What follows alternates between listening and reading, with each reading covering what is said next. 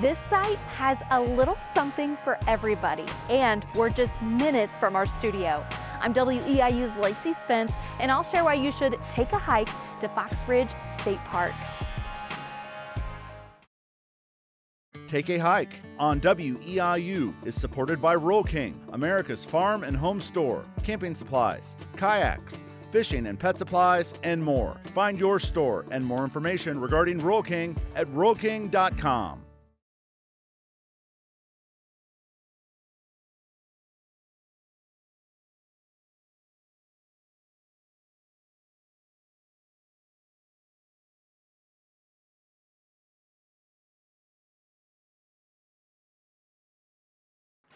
Hi, I'm WEIU's Lacey Spence.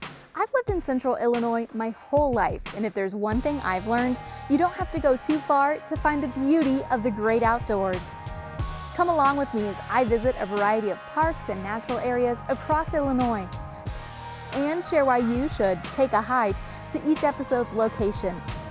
Adventure and fun await in Take a Hike, the mini-series. Thank you for joining us for this episode of Take a Hike. I'm your host, Lacey Spence. I'm excited to be back for season three, and we are in WEIU's backyard again. We are at Fox Ridge State Park today. You wouldn't know it, this day started out with a little bit of drizzle, but it's cleared up to be a beautiful day. So joining us for this interview is Duane Snow. We've got the site superintendent here for Fox Ridge. Welcome to Take a Hike. Thank you. Of course.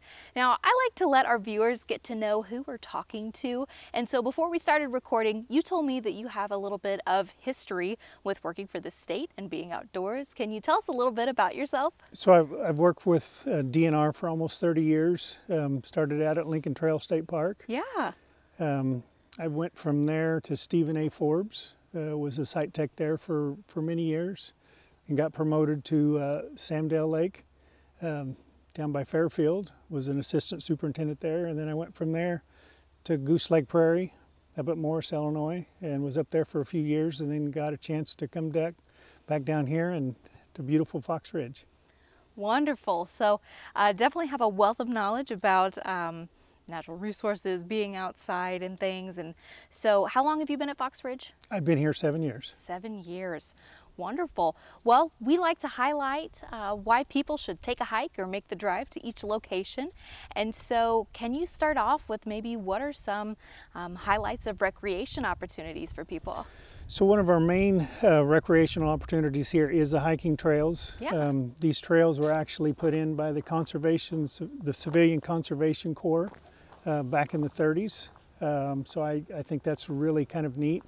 Um, we have the Embarras River that we like to canoe and kayak on. So sure. we have we have two accesses uh, to that. Um, we have the ball diamond that people like to come out and you know play. Uh, we have a youth area, uh, camp campground, and but like I say, our trails are quite extensive here, and uh, quite quite hilly. So be prepared. Sure, and so um, we have a trail that we're going to save for a little bit later in the program. But other than that, can you kind of walk us through um, maybe what the trails are called and their you know general uh, length and how hard they are? Okay, so we have Acorn Avenue, which would be our longest trail. It goes from like the campground all the way down to the South Canoe Access. Um, we have a lot of trails that feed into the Acorn Avenue Trail. Um, Eagle's Nest is one of my favorite. Here in a few weeks when the leaves start turning, it'll be really beautiful. Um, we have Trail of Trees um, that I really enjoy in the fall too. It, it leaves from the campground and makes a circle. Uh, in the fall, whenever the leaves are turning, uh, the trail kind of goes right down a ridge. So you have you can look in the valleys on both sides and see the see the beautiful trees. It is quite lovely. And I tell you what, um, folks who maybe aren't as familiar with this part of Illinois think Illinois is pretty darn flat, but once you start getting into this region, that's when you start to get some of the, the ridges terrain, which is just, like you said, it's really beautiful to look mm -hmm. at. That's, that's part of why Fox Ridge is here, is the, the ridges. Uh, due to the glaciation, um, these ridges were, were formed here, uh, and it's kind of a unique feature for this part of, the, of Illinois. and that's part of why the local community back uh, promoted to build a park here was the unique features. Yeah, and since you mentioned that, um, are you able to talk a little bit about the history or at least how Fox Ridge was started? So, uh, Fox Ridge was originally planned uh, in cooperation with the Park Service, uh, with the Civilian Conservation Corps. Yeah. Um, that Lincoln log cabin over here was where the, the encampment was, and the, the men that worked uh, at the camp and built the trails and built the structure that's behind us here. Um, they built several structures here. Um, back that was all back and done in the 30s. I think the park was dedicated in 1938, so it's one of the older parks in the state of Illinois. Wonderful. I know that I have fond memories of both going to Lincoln Log as a child and then also coming out here. Um, my old school district, they would come out here for like a year-end picnic. And so it was just always a beautiful venue and backdrop for that. So earlier you were talking about uh, there's a ball field. Mm -hmm. Is there just one or is there multiple? There, there's two. There's two of them. What, what kind of sports are we talking? Uh, so uh, baseball. Okay. Uh, um, and one of them is named after one of the old superintendents here, is Kyle Field. Yeah. Um, I understand that uh, he was here many years. Mm-hmm. So I, I don't know a lot about that history. Sure, but the other field is also baseball, or yes, okay. uh, and it's just ball diamond. And then there is um, a playground behind us. Is this the only one, or are there uh, others? Uh, no, we have three of what I would call the the more modern, like we have behind it, and then we have three of the older structures that would have been put in probably 40 years ago. Um, swings and that, that sort of stuff, but you can tell the difference in them. So other than uh, the hiking opportunities, you also mentioned camping. Mm -hmm. So let's talk a little bit about camping. What kind of sites do you have around here? So we have Class A sites. Uh, we have 43 Class A sites. That's a site with electricity. We have a shower building. Uh, we have two cabins that you can rent. They're rustic cabins, so you have to bring your own gear, bedding uh, whenever you come. Uh, but those are quite popular. Um, they have lights and electricity, but um, there's no plumbing or anything. That's the, the rustic part of them. And then we have one tent only site. Gotcha, gotcha. Um, if I'm somebody who is wanting to uh, snag a spot, do I contact the park office? Is it something I do online? How do so I go you would that? do that online at camp.exploremoreil.com is how you would make your reservation. Wonderful. So we, we assist if, if you're having difficulty, you can call the park and, and get some guidance. Um, and some of the older folks that have um, technologically challenged will make a reservation for them if necessary, but we try for most everybody to do it online. Well, anymore, I feel like I'm finding I have, you know, tech issues just as much as the next person. Uh, so those spots, do they typically go fast for a season? Is there like a window of when I can camp here and when I can't? So camping, uh, a holiday weekends. Uh, you can make reservations six months in advance. Okay. And those will be filled up a lot of times within four to five months of the holiday. Um, they'll be booked up. Um, so don't delay. Don't delay. uh, but you can, uh, once in a while, there will be a cancellation and somebody will snag a reservation just a week or two ahead of time.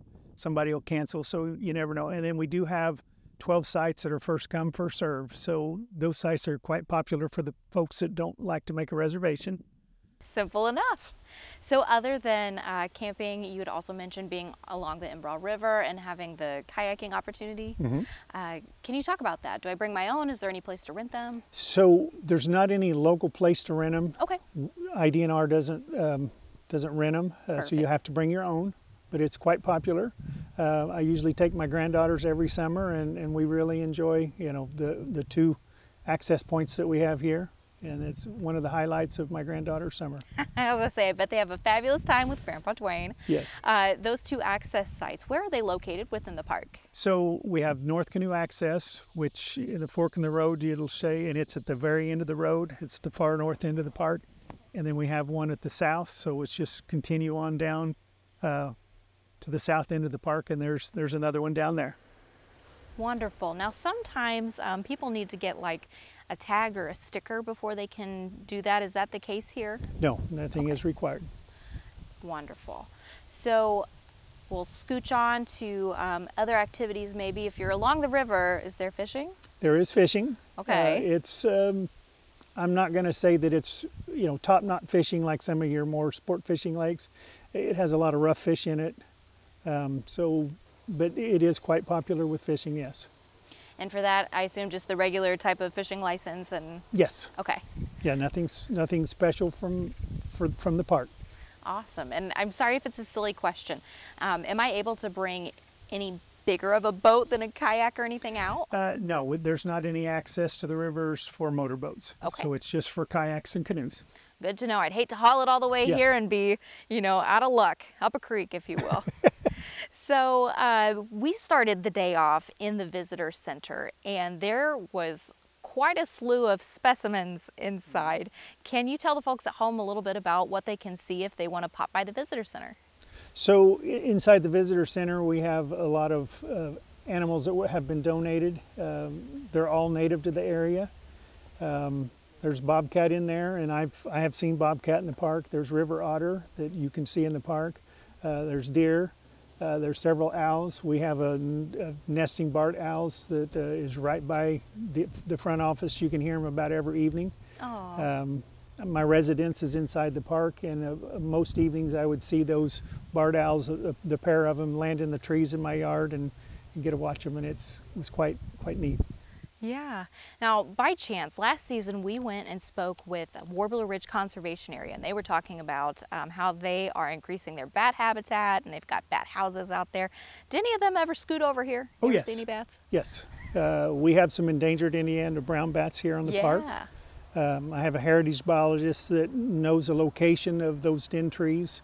Um, and I, I told her that I preferred her not to share that that way. Because it's not something that you want everybody to know where an endangered species is. Sure. Um, but we, we do have quite a few bats here in the park and see them quite often. Uh, actually, see them here at the uh, Brick Pavilion. Well, and in my opinion, you really want them around because they're good mosquito eaters. Yes. and uh, they they for some reason think I'm especially delicious, and I can't ever seem to get out of any of these shoots without getting eaten alive. Um, and so, as we're talking about wildlife, um, I do have to ask: Are there ever any hunting opportunities in the park, whether that is recreational or just management of certain species? So, so, uh, so it is a recreational opportunity, but it is also uh, a management tool that we use here. Uh, Okay. you're allowed to archery deer hunt here on the park. About half of the acreage is open to hunting. Uh, we do have a shotgun uh, season here. Uh, we do wild turkey hunting here, uh, and we also um, you can do fur bearers, uh, raccoon, and possum. Um, actually, the whole park is open to raccoon hunting. Um, we opened that up a few years ago just due to the population of the coons. Um, I, I like to tell people that they're our biggest litter bug, and uh, so we we are trying to manage the coon population just Sure. to keep them out of the trash, and uh, and they they can be um, they're a wild animal, and but they don't appear like it. So. The number one animal to uh, cause people to seek medical attention is raccoons. Oh goodness! And they Just- carry bunch, a bunch of diseases. Yes. So uh, they're cute and they're cuddly, but uh, but they do bite and scratch. Mhm, So definitely keep your distance. if I am somebody who is looking to hunt, is there any special arrangements I need to make within the park or someone to contact? So in order to hunt on the park, you have to have a windshield card. Uh, it's managed, you know, through Springfield. Um, there's there's a website. Just go on the hunting link and select what you want to hunt uh, and the park you want to hunt, and print off your windshield card. Um, we don't limit the amount of archery hunters or coon hunters or anything. Uh, we don't have enough pressure that we have to do that at this time. You know, could change in the future. Sure. Sure. And so if I was looking for updated info, can I just give you all a call? You you can call, yes. Okay. We can give you a brief overview. Now we can't do the windshield card. You Sure, would have sure. to. Okay. So as we are um, heading toward the end of this portion of the interview, is there anything I haven't asked you about that maybe um, is definitely worth sharing with viewers? Why they should come check out Fox Ridge? Um, so I, I mean, I, I definitely think people should come to Fox Ridge to enjoy the trails, to enjoy our shelters, uh, the the history. Um, I I'm very proud of the fact that, like I say, the structure behind us was actually.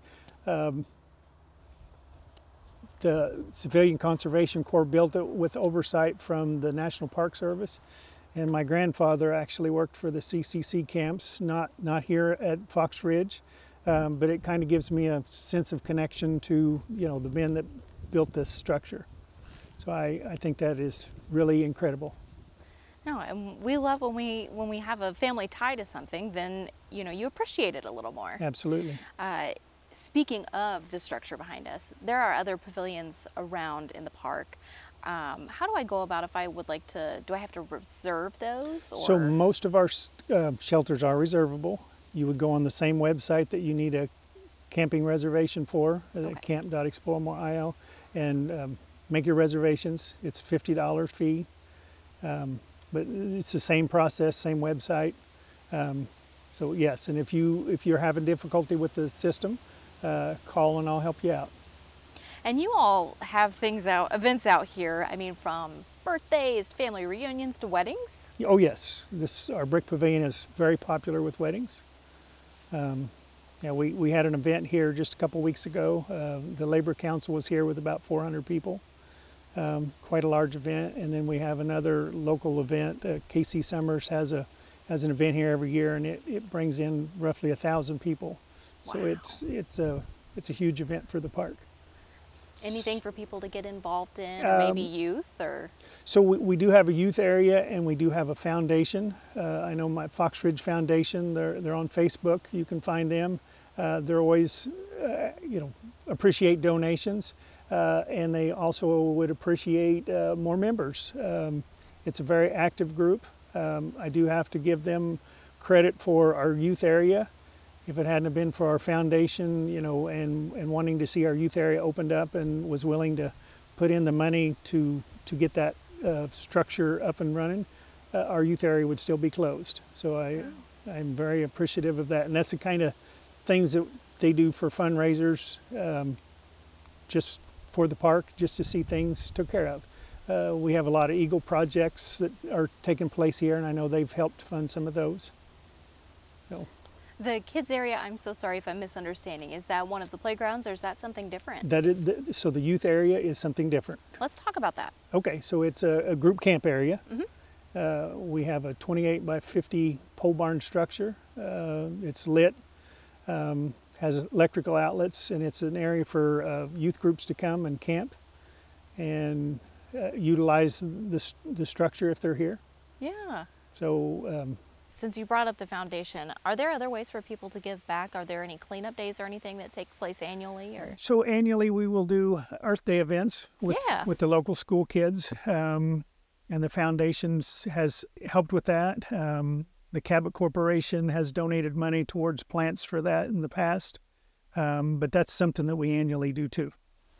And if I'm looking to get involved with the foundation, is the best way to do so just social media, or is there someone I can uh, so social media would probably be the easiest route, and then they have meetings quarterly, uh, and they're always looking for new members. Wonderful. So we've covered from camping to trails, kind of everything in between. And so now we're going to take a quick break, and we are going to talk about an upcoming trail. So as we're taping this, uh, we are taping in September of 2023. This will air in 2024, so hopefully we'll have uh, some new developments. So don't go anywhere. Take a hike. We'll be right back.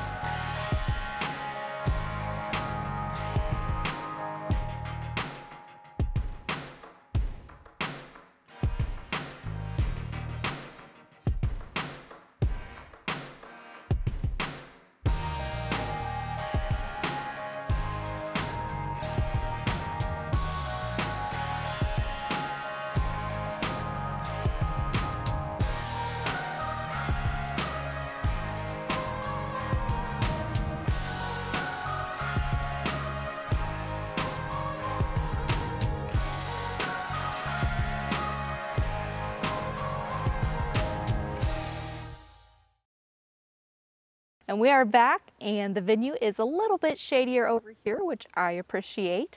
So Duane, can you tell us where we are at now in Fox Ridge State Park?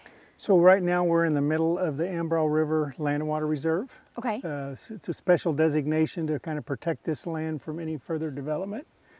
And we are right now standing in the middle of a new project that we're doing here. We're, we're trying to revive an old roadway that was in the Land and Water Reserve and converted into a hiking and biking trail. Um, Wonderful. So we're, the contractors are working as we speak. Wonderful. So we told the folks at home we're taping in uh, September. So hopefully, when they're checking this episode out in uh, early 2024, everything should be all squared away with this space. Let's take a little little walk, if you will. Uh, so this area, you were telling us there are several hundred acres that are being preserved. Yes, like 980 acres here in the Land and Water Reserve. That's fantastic. Now this is on the back side of the park. We had to take kind of a, a little, you know, loop-de-loop, loving drive back here. We passed some other things too. Um, we've got Ridge Lake, which I don't think we talked a whole lot about in the first first half of things. So fill us in. What is Ridge Lake? So Ridge Lake was built in the 40s. Uh, it's a research lake. Uh, the Illinois Natural History Survey manages it. Uh, it's kind of a lease with IDNR. Um, and Ridge Lake is actually the longest running research, uh, has the longest running research in the U.S. So it's kind of, that's its claim to fame. And it's right in our own backyard. Yes. which is super neat. Um, and then one other thing that we had passed on our drive back here, uh, we saw a sign for horse trail. So for part of the park, you can have horses out here. We have uh, 3.7 miles of horse trails. Um, no, we have no equestrian camping. It's it's just open to horseback riding. But yes, um, so you're welcome to come out and ride your horse. And I assume all the trails are pretty clearly marked as to whether it's foot traffic and Correct. those type of things. Uh, our, our equestrian trail is totally separate. It's it's uh, not for hiking or biking, as this trail, and this trail will not be open to the equestrian. It'll just be open for bike and hiking. and if folks are curious, uh, why might this trail not be considered like a true biking trail? So a true biking trail uh, can only have so much grade, uh, and if the slope's off enough, it would have to have guardrails. And we are absent those kind of things. There wasn't money in the project for those kind of things, so it's a hiking first with bikes allowed. Well, sure. And of course, coming out here, safety is paramount. Uh, and that's part of why we wanted to kind of revive this is just to access because this was a pretty remote area Yeah. uh, before and if if there's an injury uh, it's nice to be able to get access you know if there's an injured hunter or whatever so it's kind of an access as well And of course, you know, laying the safety ground rules, just making sure that you are always letting people know when you're heading out, when you're expected to be back, what area you'll be, so then if that cell phone doesn't work or anything, they know where to find you or at least know where to look. yes And so before we wrap up and let you go, uh, you told me that you have a forestry degree, Mm-hmm. and we don't want to let that go to waste uh, because there's a lot of beautiful foliage out here. test me here Yeah, well, there's a lot of beautiful foliage for people to check out, um, as, you know, spring, summer, or fall. And I have to ask, you know, what kind of trees can people see if they're coming out to Fox Ridge? so we have the typical oak hickory forest here um, there's a lot of maple in our understory um, but uh, we have sweet gum uh, it's, it's a very beautiful mix. Unfortunately, uh, due to the emerald ash borer, we're losing uh, a lot of our ash trees. I don't know if you noticed when you drove through the park, but there's a lot of dead trees, and it's due to the emerald ash borer that was uh, brought in. Gotcha. And so with that, will you all continue to come in and chop those down, or? Uh, so we, we do allow people to come in and collect firewood, uh, but we don't allow them to cut uh, cut trees down.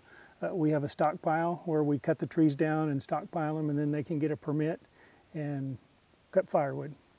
Now, I know you're telling me that you're a little bit uh, partial to the area, of course, being site superintendent here. So, if I'm somebody who's never been to Fox Ridge before, where is like the first place or the best place that you would say you have to see that before you leave? So one of my favorite areas is Eagle's Nest. It's the 144 steps up to the platform. Um, like say here in a few weeks when the leaves are turning, it's very beautiful. Uh, you, you get an overview of the Embarras River, uh, and then I really like canoeing here. Uh, I'm a little partial to that too. Yeah. So before I wrap up, is there anything else about Fox Ridge or maybe this side of the park that we didn't talk about that's worth mentioning?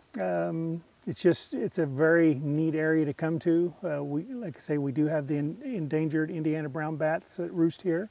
Uh, very proud of that. Uh, I know Grand Prairie Friends are promoting uh, bat habitat up on their area, and, and their ground actually joins ours.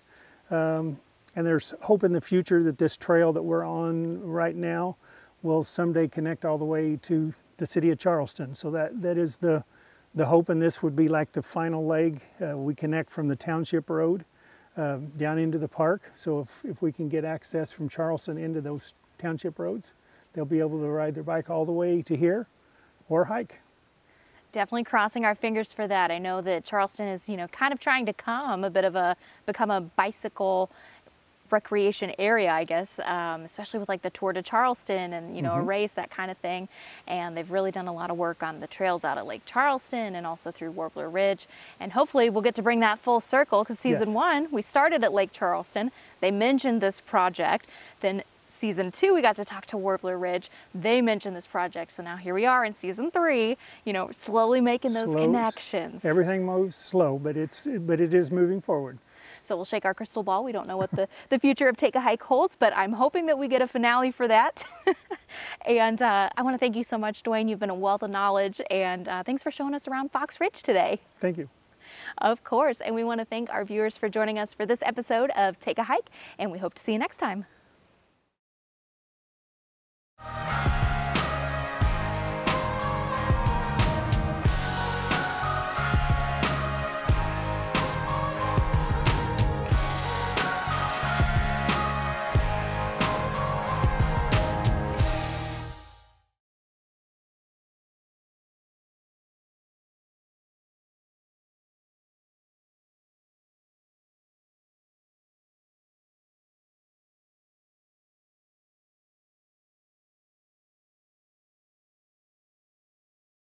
Take a Hike on WEIU is supported by Rural King, America's farm and home store, camping supplies, kayaks, fishing and pet supplies, and more. Find your store and more information regarding Rural King at ruralking.com.